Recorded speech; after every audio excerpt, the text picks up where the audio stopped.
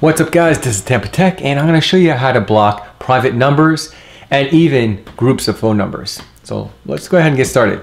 First thing you want to do is enter your phone contacts. Now you can select recent or your contacts. In your contacts, you click on right here on the upper right hand corner, the three dots, select settings, and then you can block numbers right here. You can block private calls. Just select that right there to turn it on. And you can block groups. Select your contacts right here. Select any of the following. So all these will be blocked and then select done. So all these numbers will be blocked if they call you. Or you can um, select recent. Yeah, if you just got a recent spam call, you can just click on recent and then select their number and then hit done and then that number will be blocked. Another cool feature that you may be interested in is, uh, let's go ahead and back, back into settings and do quick decline messages. And you can create your own quick um, decline message. You just click add.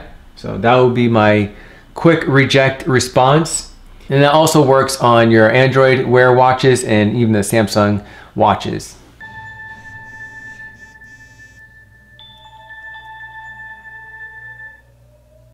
And another quick way to block numbers, if you just got called and uh, they hung up on you or you got a spam call recently, you select your phone contacts, select recent, the last call that called you, select that if it was the spam call, and select details, click on that I.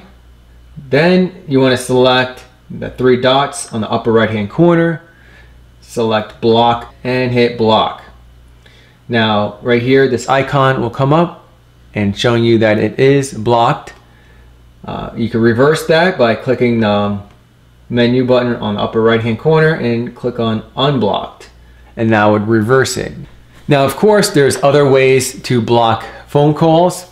Uh, this is the, probably the easiest way that block phone calls in your Android operating system. So if you have iPhone, of course, it's going to be different. And of course, there's apps that block phone calls, but they um, may have advertisements in those apps. So if you found this video informative, give me a big thumbs up. If you know anyone that this video will help, go ahead and click on the share button below and share this video to them, help someone out. And if you want more how-to videos like this coming your way, click on the subscribe link right here or down below. And if you want to check out my other Google Android how-to videos, click on this playlist right here. Thanks guys for watching.